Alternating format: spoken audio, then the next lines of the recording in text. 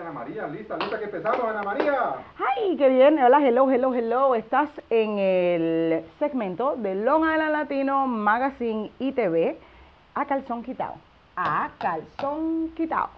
Esto es para el mes de octubre, el mes de las brujas y el mes de los cueros, digo, mes de Halloween, es lo que estaba diciendo. La clase de hoy.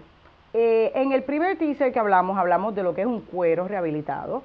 Este, les dije que iba a, a enfatizar un poquito más y lo voy a hacer ahora. Me explico. También les voy a decir ya, gracias a todos los oyentes que, y a todos los lectores que me dejaron saber su sentir sobre el blog y la primera edición.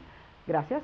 Eh, sus comentarios son importantes para mí. Bueno, la clase de hoy, cuero rehabilitado, memoria selectiva, Madre Teresa y millaje.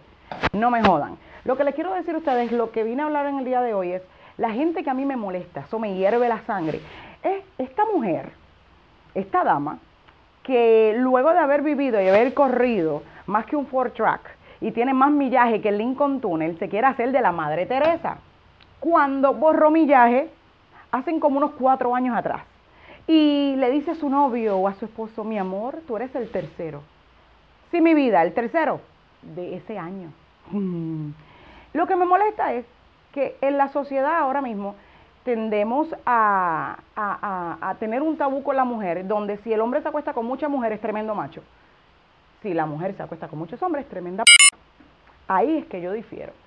Porque para mí un cuero rehabilitado no es nada malo, es llevar las experiencias que tú tienes a flor de piel. Y que se joda lo que diga la gente, no te hagas la santa porque en realidad no lo eres y el millaje se te sale por los poros. Este, tengo que leerlo porque esto fue lo, lo escribí hace casi un mes.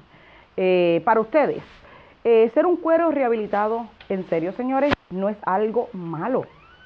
Eres mujer que vivió la vida, que se la disfrutó, que aprendió de sus lecciones, que, que buscó el amor en los lugares menos adecuados en momentos, pero eso te hizo llegar hasta donde estás ahí.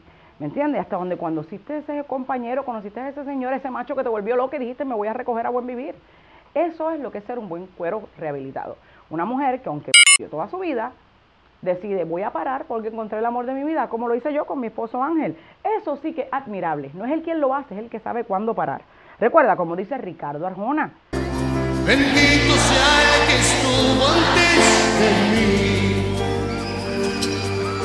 No es dama la que se abstiene, dama es la que se detiene cuando encuentra lo que tú encontraste aquí.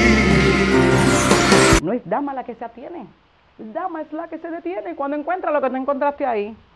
Así que ya lo saben, cargue su millaje con honor, lo que usted hizo en el pasado, que no se lo olvide, esto lo ayuda a ser mejor persona en el día de hoy, mi vida. Así que si usted tuvo 50 machos, hágalo, há- hágalo como que fue una obra benéfica para los hombres. ¿Sabe lo que voy a hacer? Cuando usted se cree que es la Madre Teresa de Calcuta y le da memoria selectiva, como quiera se le ve el millaje y aunque tratemos de borrarlo, su vida es como esta pizarra vieja. Por más que uno borre, se quedan las manchas. Así que ¿para qué uno hacerse la santa?